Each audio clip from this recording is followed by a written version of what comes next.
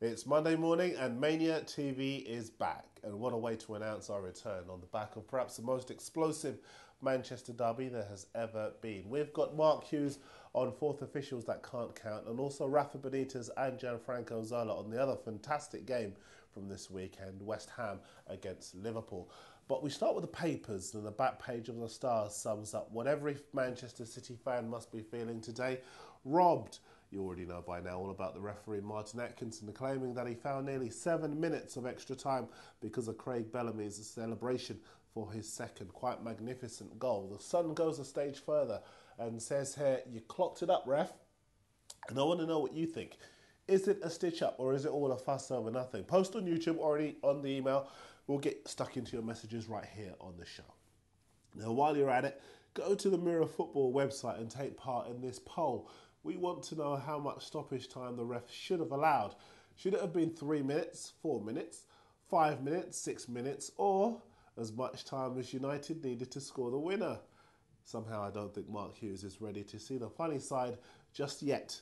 Here's what a reminder of what he had to say after the match. The fourth official tried to give me an explanation of what sorts, as I was obviously questioning at the time did on, even before the game finished. So um, his explanation of it didn't really sit comfortably with me, in fairness.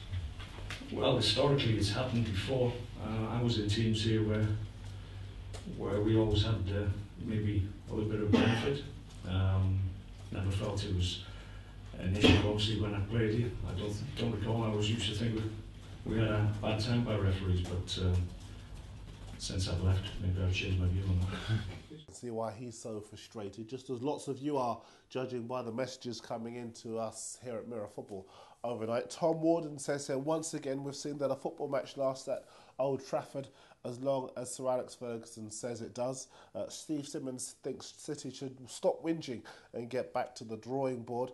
Tanya watched the game with her boyfriend yesterday, says that if extra time was added on for Bellamy's goal celebration, then all referees should stick time on for all of the more elaborate goal celebrations, the ones they rehearse beforehand.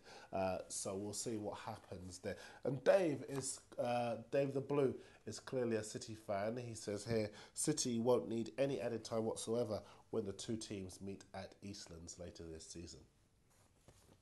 Now, the FA are about to charge Craig Bellamy for his reaction to the fan that ran onto the pitch yesterday. But we at Mania TV have been looking around Europe and found that it could have been much worse.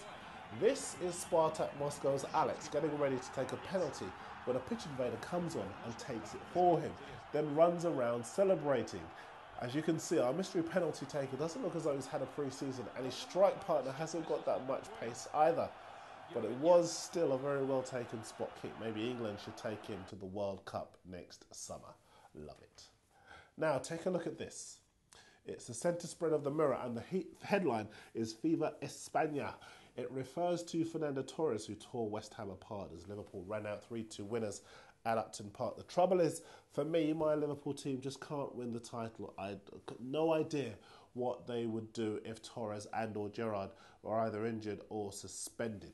Now, that question was actually put to Rafa Benitez after the match on Saturday. Here's what he and the West Ham boss, Gianfranco Zola, had to say. No, I think that uh, he's, um, he's now fit and we are working hard with him, so with the prevention and everything. And if uh, he cannot play one or two games, uh, we'll have uh, Kuyt in front that can score goals, or maybe Ryan like today. So hopefully he will not be injured and he can score a lot of goals for us. But uh, we have uh, different options, different players, and then I think we can manage.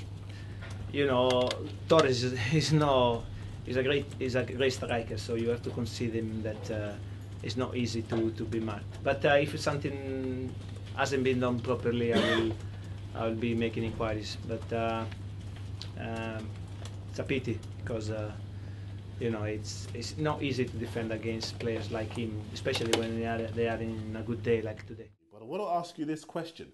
With 55 goals in 91 appearances for Liverpool, is Torres the best striker in the Premier League?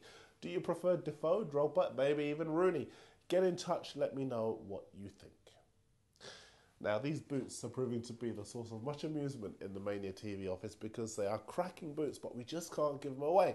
Thankfully, lots of you have been helping by taking part in our latest competition to see who the first Premier League manager to be sacked will be. John Q thinks it's going to be Phil Brown after Hull were beaten at home by Birmingham at the weekend. Mark Reynolds in Paul thinks it's going to be Paul Hart, with Portsmouth now on the back of the worst ever start to a Premier League season. And Brian Bees emailed us uh, in from the US. He thinks that the first Premier League boss to be sacked is going to be Alex McLeish at Birmingham, with the prospective new owner Carson Yeung after a more glamorous name. What do you think? Uh, who do you think is going to be the first boss to go? Post, email, you know what to do, but make sure you include your boot size.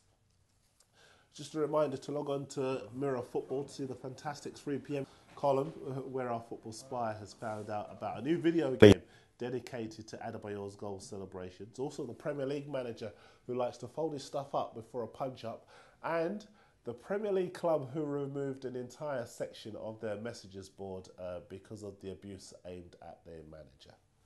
You can also get match reaction from all of the weekend's Premier League games, so make sure you tune in. And just time to update you on a couple of stories around today. Uh, the police have interviewed the Blackburn striker El Hadji Diouf over claims that he verbally abused a ball boy in his club's 3 0 defeat to Everton. The police clearly don't have that much to do elsewhere because they're also going to have a look at that incident involving Bellamy and the fan at Old Trafford as well. Uh, United old boy Cristiano Ronaldo scored twice in Real Madrid's 5 0 win over Xerez on Saturday, and the Arsenal boss Arsene Wenger says he's going to go to the FA to complain about players on opposing teams who simply go out to foul his players. No punchline needed there. More MFTV for you tomorrow. I'll see you on Wednesday.